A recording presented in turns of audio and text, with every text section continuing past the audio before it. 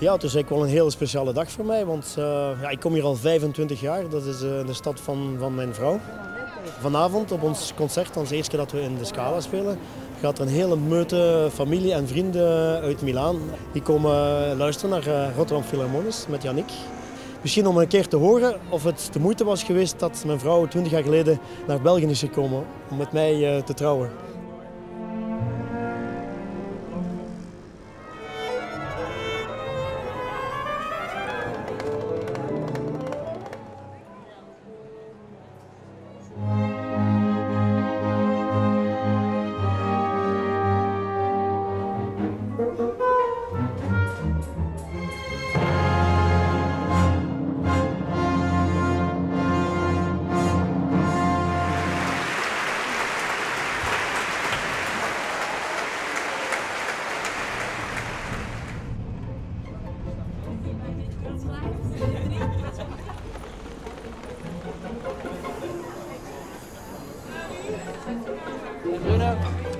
Peter. Arno? En niks. Luit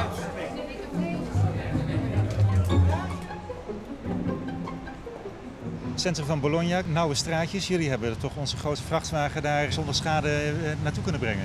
dat lukt elke keer. Hè? We hebben hele spannende ritjes gehad. Dus, uh, we zijn overal al, uh, altijd al gekomen waar we moeten wezen. Dus hoe spannend het ook is. Het zijn eigenlijk zes verhuizingen in één week. ja, daar komt het wel op neer. Ja. ja.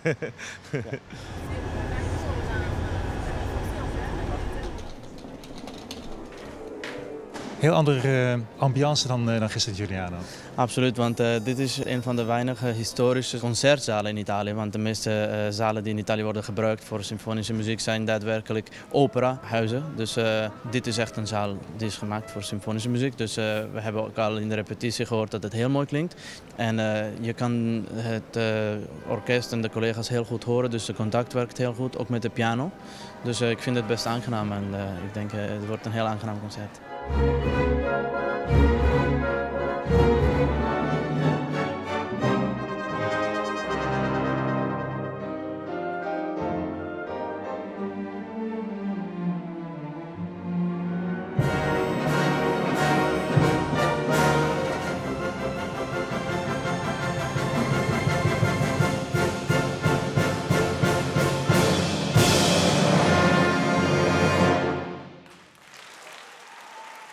Ik denk het was het beste concert tot nu toe. En de zaal klinkt heel mooi. Yannick heeft het concert vandaag, de symfonie, uit zijn hoofd gedirigeerd.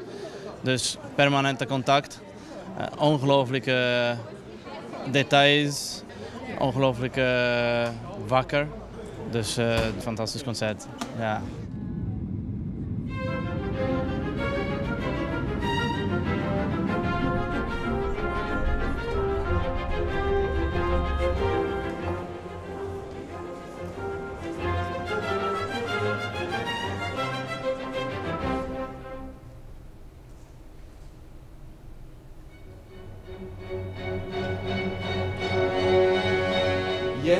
I will be back. And yes, we will be back in Paris. And uh, yeah, uh, thank you, musicians. We have many more concerts before I thank you about what you gave us. But I hope you were happy to see uh, and hear yourselves on the film because you're so fantastic. Thank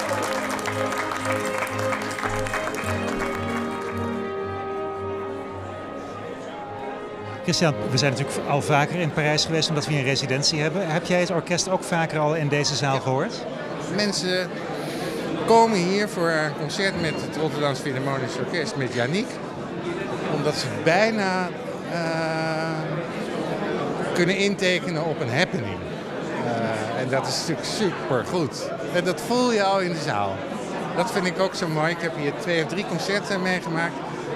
Het begint niet met stug mensen lezen in een programmaatje. En er is al een soort spanning in de zaal. Er is al een soort van... Ah, uh, dat vind ik heerlijk. Dat voel je. En dat gaat natuurlijk ook weer door naar het podium toe.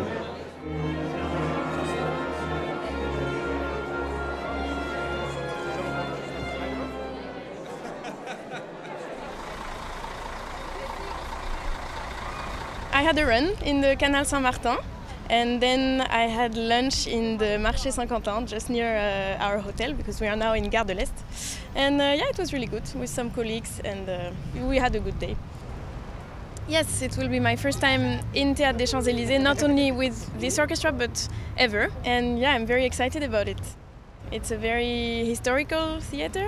The Rite of Spring was premiered, but also other very important works like Tourangalila Galila Symphony, I think. And for me, it's also special to play there uh, with the Rotterdam Phil because I remember the first time I listened to the Rotterdam Phil was here in Paris. And uh, yeah, I remember it was an amazing concert. And uh, I was so happy. I was in the cheapest seats, really in the back, really up. It was really hot. And uh, yeah, I enjoyed a lot. And after the concert, I remember uh, talking to Juliette, the, the flute player, and, and Julien also, clarinet. And, uh, and I was so happy to chat with them, and yeah, they're now my colleagues. So yeah, it's a, it's, it's a bit special for me.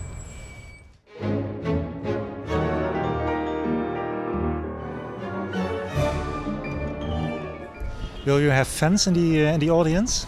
Uh, fans, I don't know, but well, yeah, I think counting family and friends, something like 10 to 15 people.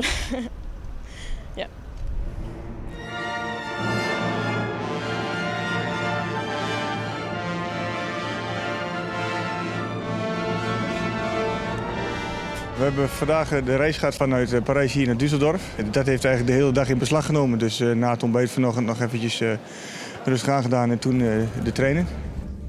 We hadden hier eigenlijk niet zo heel veel tijd, dus ik ben gewoon even op de hotelkamer geweest, even naar huis gebeld, dat soort dingetjes. En nu repetitie gaat en straks concert. En ik verwacht wel dat we na het concert nog eens een klein snieteltje gaan eten. Je merkt dat de mensen waar je in het, in het orkest nauw, nauw mee samenwerkt, dat die ook na die tijd eh, elkaar opzoeken om, uh, om, om af te spreken om of iets te gaan eten of nog eens wat te gaan drinken na het concert. Uh, en omdat ik tussen de koopblazen zit. en ja, je merkt ook wel dat het zijn vaak wel een beetje dezelfde type mensen die spreken al gauw met elkaar af. Maar zoals gisteren in Parijs ben ik alleen met Remco eventjes wat gaan eten. En nou, toen kwamen we bij een aantal strijkers ook te zitten, wat ook heel gezellig was.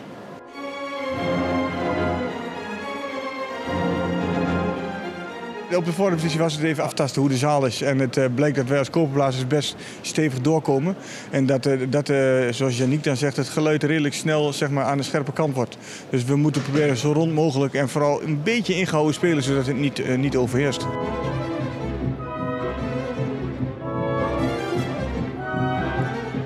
Die Rachmaninov die is in die zin het spannendste, want daar zitten van die lastige inzetjes in die, die moeilijk te timen zijn. Ook omdat Janiek natuurlijk moet letten op wat de pianiste doet. En dat is ook niet altijd hetzelfde. Puur qua, dat is die het spannendste. Daar, daar ben ik het meest bang dat je te vroeg of te laat bent, zullen we zeggen. Maar het meeste spelen zit in, natuurlijk in Tchaikovsky. Dat is niet per se heel spannend, het is vooral erg, erg leuk. Het concert voor mij is, is geslaagd uh, als, je, als je uit de reactie van de zaal merkt dat, uh, dat ze het echt mooi vonden. En eigenlijk tot nu toe, iedere keer is dat ook zo. De mensen juichen gewoon weer niet. En in Parijs gisteren bleven ze maar klappen dat we op een gegeven moment gewoon een podium af moesten gaan, anders dan stopt het niet meer. Ja, dat is, dat is natuurlijk het leukste gedeelte.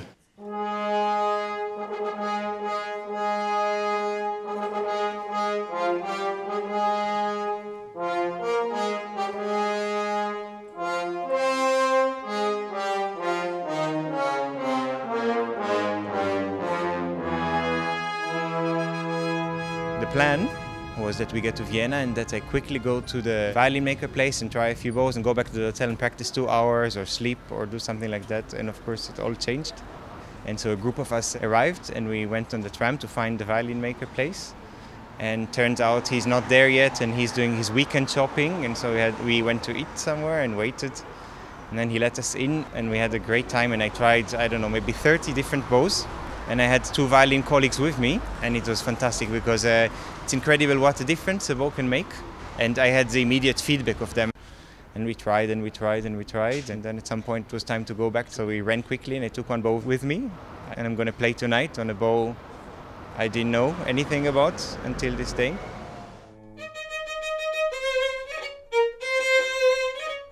of course, it has two sides. So, on the one hand, every small element can make a big difference. On the other hand, you have to trust yourself that the practice you, you put into it over years will pay off and that you're flexible enough to, to react to the differences in balance in your right hand and to the difference in the sound you make. And on the one hand, I'm looking forward to see if I can contribute a bit more with a, with a bow that gives more sound. And on the other hand, of course, I have to fit into the group like everyone else.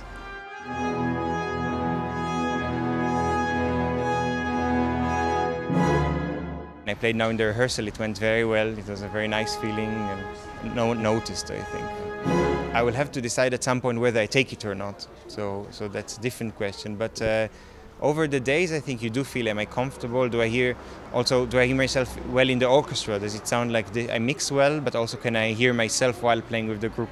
And um, I already have a very good feeling, but of course you don't do this thing every week because it's a bit of an investment. And if the concert tonight goes well, that would definitely be plus.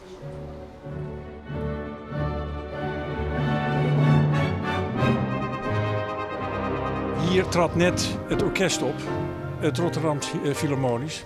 En als ambassadeur voel je je ongelooflijk trots dat je erbij bent.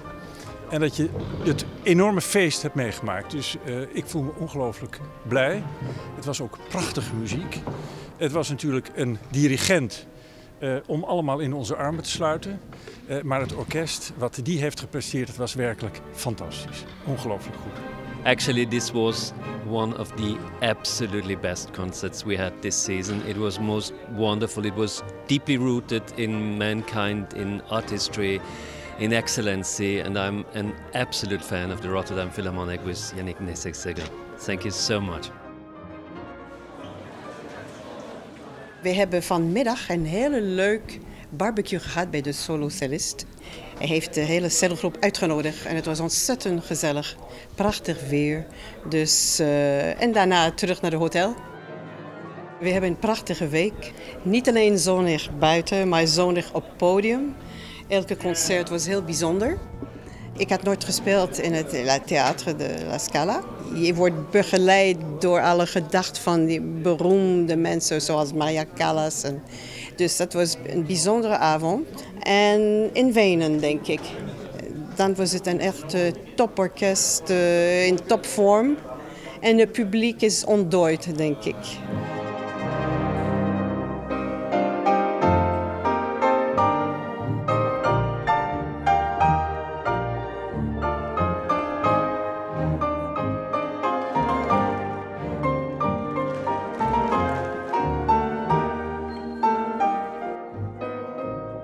Touring is a way to show the world what different orchestras have inside them. And it's about our own perception of music everywhere in the world and sharing it how we are different. You know when we tour we are very fixed on uh, adapting to the acoustics which is important of the different halls. But also it's important not to be too much adapting because we want to be different. That's the whole point of the tour the Rotterdam Philharmonic is such a unique ensemble and has really an incomparable spirit and sound and sense of color now and risk. And I think this tour is uh, close to an apotheosis of our 10 years together. And um, it's, uh, I'm just so proud. I'm so proud in this tour to see how the musicians play and give their hearts and it's very emotional, but it's also, I think we collect a lot with full halls and uh, great applause and uh, great reviews. And uh, yeah, it's, um, it's a special moment, I think, in our history together.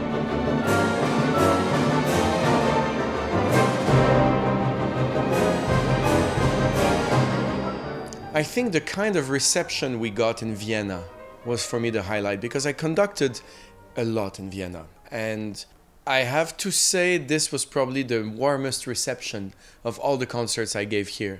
And I could feel that uh, really the audience was blown away by the orchestra. And that for me is, uh, I'm just saying, mission accomplished.